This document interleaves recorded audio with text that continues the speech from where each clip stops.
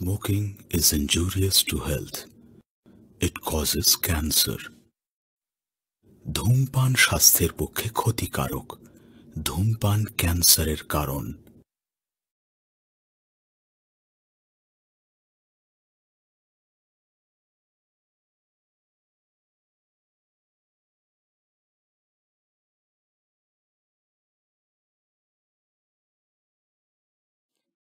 Hello viewers সবাইকে knowledge এক্সপিরিয়েন্সের পক্ষ থেকে আন্তরিক শুভেচ্ছা ও অভিনন্দন। আজকের নতুন পর্বে আমি যে বিষয়টি নিয়ে আলোচনা করব, আমাদের দৈনন্দিন কাজে আমাদের একটা জিনিস প্রয়োজন হয়ে থাকে। যারা কম্পিউটার জগতে কাজ করেন, তারা অবশ্যই জানেন যে পিডিএফ ফাইল সাধারণত এডিট করা যায় না। তো আমি সেটি দেখাবো without any software without any software but যে সফটওয়্যারটি দিয়ে আমি এডিট দেখাবো সেটি আপনাদের সবার ল্যাপটপে আপনারা শুধুমাত্র আপনার এই পিডিএফ এডিটর এডিটিং এর জন্য না, সেটি আপনি অন্যান্য কাজেও ব্যবহার করে থাকেন। তো আমি যেহেতু পিডিএফ এডিটিং এর জন্য দেখাবো তো আমি বলব যে এক কথা বলাই চলে যে without any software for PDF editing. আমরা সাধারণত আমরা সার্চ করে থাকি। আমি গুগলে দেখলাম অসংখ্য সার্চ। যে পিডিএফ এডিটর পিডিএফ এডিটর অনেকে ইউজ করে কি? অনেকে অনলাইন থেকে এডিট করে নেয়। কনভার্ট করে নেয় পিডিএফ থেকে মাইক্রোসফট ওয়ার্ড আমি অবাক লাগে যে যখন একজন মানুষ সার্চ করতে থাকে হাউ টু এডিট মানে সরি লেখে যে পিডিএফ কনভার্টার অথবা লেখে পিডিএফ থেকে PDF to Microsoft Word PDF to M S Word এগুলো যখন মানুষ লেখে আমার কাছে খুব অবাক লাগে। মানুষ অনলাইন থেকে কেন করবে? হাতের কাজ, এটা ধরেন আপনার সিম্পল একটা জিনিস যে, আপনার পিডিএফে শুধুমাত্র একটা লাইন এডিট এডিট করতে হবে। আপনাকে কেন মানে এই পুরো ইটা এডিট করতে হবে? আপনাকে কেন আপনার এই মানে পুরো প্রসেসটাকে নিয়ে ইন্টারনেটের মাধ্যমে এটাকে আপনার কনভার্টার দিয়ে কনভার্ট করতে হবে কনভার্ট করে এনে তারপরে আবার মাইক্রোসফটে কাজ করবেন কেন? আপনি তো সেটা একবারে করতে পারেন।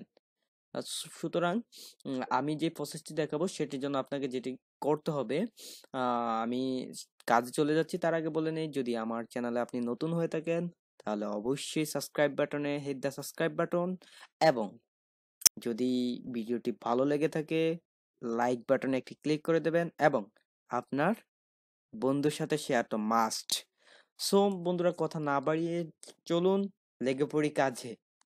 তো আপনাকে যেটি করতে হবে, আপনি দেখতে পাচ্ছেন আমি যেহেতু মাইক্রো সরি আমি যেহেতু উইন্ডোজ টেন ইউজ করতেছি, সেহেতু আমার উইন্ডোটা এরকম আসতেছে। তো আমি আমার এই যে এখানে আমরা যেটাকে উইন্ডোজ বাটন বলে থাকি কম্পিউটার থেকেও উইন্ডোজ বাটনে ক্লিক সরি কিবোর্ড থেকেও আপনি উইন্ডোজ বাটনে ক্লিক করে দিতে পারেন। তো আমি আমার উইন্ডোজ বাটনে ক্লিক করার পরে দেখেন এখানে আমার প্রথমেই অ্যাডোবি ইলিস্ট্রেটর অ্যাডোবি ইলিস্ট্রেটর সফটওয়্যারটা চলে এসেছে। তো এটা আমরা সাধারণত গ্রাফিক্সের কাজে ব্যবহার করে থাকি। তো আমি এটাকে এটাকে দিয়েই আমি পিডিএফ এডিট করে দেখাবো আজকে। তো আমি অ্যাডোবি ইলিস্ট্রেটরটা ওপেন করার জন্য ইলিস্ট্রেটরে ক্লিক করে দিলাম। একটু ওয়েট করেন, যেহেতু হচ্ছে। হ্যাঁ ইলিস্ট্রেটরটা ওপেন হচ্ছে, আপনারা দেখতে পাচ্ছেন। আমার ইলিস্ট্রেটর আমি অ্যাডোবি ইলিস্ট্রেটর টেন ইউজ করতেছি। রিসেন্টলি আমি আপডেট ইলিস্ট্রেটরটা ইউজ করছি না বিকজ আমার পিসি পিসি বলতে আমার কাছে আপডেট ভার্সনটা আমি এখনও নেইনি। আমি আপডেট ভার্সনটা নিয়ে নেব, খুব সাম্প্রতিক। আপনার যাদের কাছে আপডেট ভার্সন আছে নো টেনশন সেম কাজ। হ্যাঁ আমরা জানি আপডেট ভার্সনের ফিচার একটু বেশি থাকে, তবে কোনো টেনশন নাই। এই কাজ আপডেট ভার্সনও একই কাজ হয়ে থাকে, এগুলার একই কাজ। তো দেখেন, আমার এখানে আমার ইলিস্ট্রেটরটি ওপেন হলো। ওপেন হওয়ার পরে আমাকে যেটি করতে হবে, সেটি হলো আমি এই যে, এখান থেকে আমি এটাকে একটু বড় করে নিলাম। বড় করে নেওয়ার পরে আমি ফাইল ফাইলে ক্লিক করলাম। ফাইলে ক্লিক করার পরে আমি ওপেনে ক্লিক করলাম। ওপেনে ক্লিক করার পরে আমি ডেস্কটপ সিলেক্ট করে দিলাম। যেহেতু আমি আপনাকে যে ফাইলটি দিয়ে দেখাবো, সেই ফাইলটি আমার ডেস্কটপে রাখা আছে। তো চলে গেলাম আমি আমার ডেস্কটপে দেখেন, এখানে একটি টিন সার্টিফিকেট আছে। আমি যেটি দিয়ে এই টিন সার্টিফিকেটটি আপনাকে দেখাবো। তো আমি আমার টিন সার্টিফিকেটটি যে টিন সার্টিফিকেটটি এনআরবি টিন সার্টিফিকেট এটাতে ক্লিক করে এটা ওপেন করে দিলাম। ডাবল ক্লিক করলে অবশ্যই ওপেন হয়ে যায়। এটা যারা কম্পিউটারে কাজ করেন, তারা অবশ্যই জানেন। হ্যাঁ আমার ফাইলটি অলরেডি চলে এসেছে, তারপর আমি ওকে দিয়ে দিলাম। হ্যাঁ ওকে দেওয়ার পরে আপনি দেখেন দেখেন এখানে ফাইলটি একটু ছোট আছে, তো আমরা এখানে যে জুম স্ক্রিন থেকে, আমার এখানে জুম স্ক্রিনটা এই জুম স্ক্রিন থেকে আমি এটাকে একটু বড় করে নেব। এই যে জুম স্ক্রিন থেকে জুম হ্যাঁ দেখার সুবিধার্থে এটা। চাইলে আপনি বলবেন যে আপনি চাইলে এটাকে জুম ছাড়াও রাখতে পারেন। আমি এটাকে জুম করে দিলাম হ্যাঁ জুম করে দেওয়ার পরে সরি আমি আমি একটু সরি হ্যাঁ তো দেখেন আমি এটাকে মাঝ বরাবর আনলাম আনার পরে একটু উপরের দিকে যাব। তো আমার একটু ভালো দেখা যাচ্ছে না। দেখেন, এখন আপনি যে কনভার্টারগুলো দিয়ে আপনি এই পিডিএফটাকে এডিট করেন সেই কনভার্টার দিয়ে কিন্তু আপনি, আমি যে কাজটা দেখাবো এখন সেই কাজটা হুবহুব করতে পারবেন না।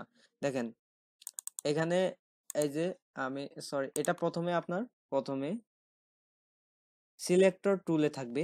তো আমি সিলেকশন টুল থেকে এই যে এটা প্রথমে একটা একটা করে সিলেক্ট করলাম। এখন দেখেন, এই জায়গার মধ্যে খোরশেদ আলম লেখা আছে। তো আমি খোরশেদ আলম থেকে এই যে কাটা শুরু করলাম মানে ব্যাক স্পেস দিয়ে মুছতে শুরু করলাম। এখন আমি খোরশেদ আলম থেকে, ধরেন আমার নাম দিয়ে দিলাম। M I Z A N U R R R A H M A N দেখেন অলরেডি সেম ফন্টে হয়েছে। তো আমি এখানে দেখেন আমার একটা স্পেস এখানে মানে ওই নামের অক্ষর থেকে আমার নামটা একটু বড় হওয়ায়, এখানে আমার মানে ওই ইজের উপরে আই এর উপরে এনটা চলে এসেছে। তো আমি সামনে থেকে একটা স্পেস সরিয়ে দিলাম। হ্যাঁ এখন দেখেন সেম হয়ে গেছে। মানে খোরশেদ আলম থেকে আমার নামটা একটু বলব।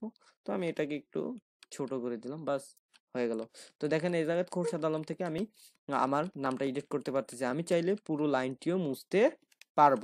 সো আমি খোরশেদ আলমে চলে গেলাম। আর এখানে, আমি ব্যাক করে নিলাম।